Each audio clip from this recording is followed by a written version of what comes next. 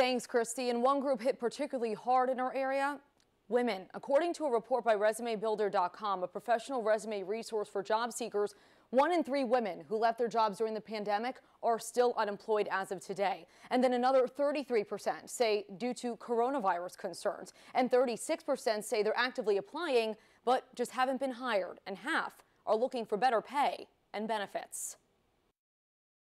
During the pandemic, many women, especially, have reevaluated the careers that they're in, um, the, the, the work life balance that they came to see as a possibility. But an impossibility for public facing jobs in healthcare and hospitality, where staffing has been a major problem.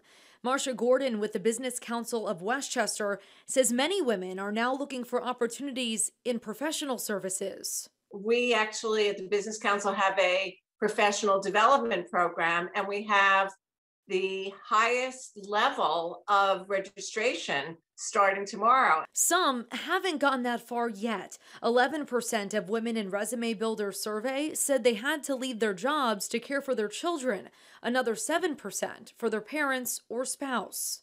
It's very, very difficult in this time of uncertainty, of um, Omicron, of schools being open, I know daycares have become much more stringent.